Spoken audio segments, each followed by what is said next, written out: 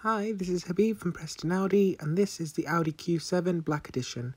This particular model has the 50 TDI engine with 286 PS and the Tiptronic automatic gearbox. Starting with the front of the car, you'll see the enhanced styling courtesy of the titanium black styling pack, which includes this black radiator grille. Not only that, but we've also got the Matrix LED headlights with dynamic indicators as you can see demonstrated here. These are really intelligent as they can turn off individual dials depending on the traffic. Also standard on this Black Edition model are these 21 inch 10 spoke star design alloy wheels which look amazing, especially with the glacier white metallic paintwork. Also included in the titanium black styling pack are these black door mirror housings, as well as the side window trim strips and the black roof rails which you see here.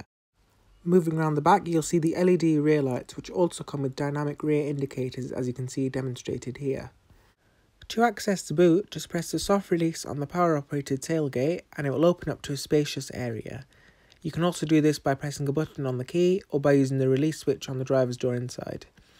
Even for a spacious 7 seat SUV as this, there's plenty of room, but you can make even more space by dropping the rear seats using these buttons here. And once you've loaded all of your belongings, just press the button as you can see here and it will close the boot for you. As you can see, this is a really stylish and well thought out SUV. Even for a spacious 7-seater, it really does look amazing. But now that we've had a look at the exterior, let's have a look at the interior. And what an interior this is. There's a 3-spoke flat-bottomed leather multifunction sports steering wheel with buttons to control the infotainment display and the virtual cockpit you see ahead of you. On the left hand side of the steering wheel, we've got the toggle switches, which you can use to change the display on the virtual cockpit. You've got your general car information, as well as your DAB digital radio and media, telephone equipment for your connected device, and navigation. And you can even change the size of those dials if you'd like. Moving to the centre console, we have the twin touchscreens. The top screen is the 10.1 inch MMI Navigation Plus screen with functionalities such as DAB digital radio, media controls for your connected device, telephone equipment for your connected device, as well as navigation, which also comes with 3D mapping.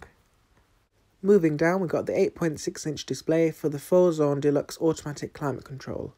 The separate controls for the passenger, driver, and rear passengers, and there's even heated seat controls for the front seats.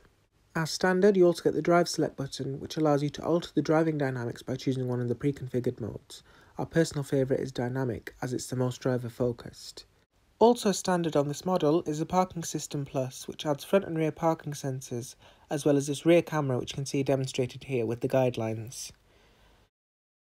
This is a really impressive interior.